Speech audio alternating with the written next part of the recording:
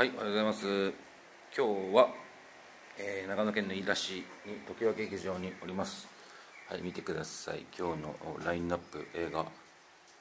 えーこれですね、慈しみ深き、これ僕の企画主演の映画です。それでカバが、えー13時30分。で、テロルンとルンルン4時半。で、ビジネスホテルファミリー。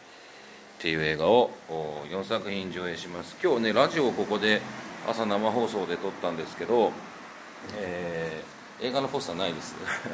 もうね過去の作品ばっかりなんでポスターないです。えー、とラジオを撮ったんですけどねあのラジオを聞いて、えーメッセージくれた方がいました。2人ぐらいいたかな？コメントにも YouTube のコメントにもラジオ見ました聞きました。すごいですね。朝何も予告してないのに朝8時24分の SBC さんのラジオですよ。そうラジオなんて誰が聞くんだよと思いつつも僕も飯田で何度かラジオ出演させていただいた時に「ラジオ聞きました」って言って声かけてくれる人がいるっていうのがすごいですよね。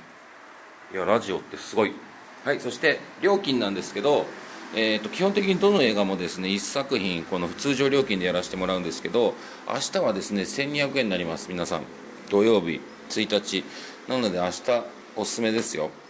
ねえ。であとこうやってあの割引も効きますんで、はい、ぜひあの学生の方は学生証だったりとか、はいえーシニアの方とかはですね、えー免許証だったりとか持ってきていただければ、えー良いと思います。そしてなんか電話で、えー舞台挨拶はあるんですかって言われたんですけど基本的にはですね、えーと時間はあるんで見に来てくださった方と舞台挨拶みたいな仰々しいことはしないですけどお話をしたりとかする時間は作ろうと思ってますんではいぜひぜひ、えーいらしてください。私はこの常盤劇場の あの自動販売機の前に陣取らせていただいて今日から約1週間か常盤劇場にいますんでぜひぜひあの会いに来ていただければと思います。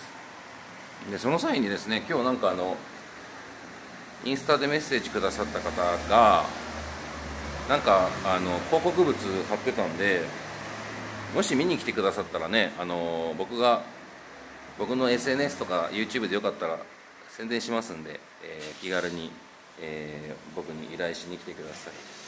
逆効果かもしれませんけどね。はい、えー以上です。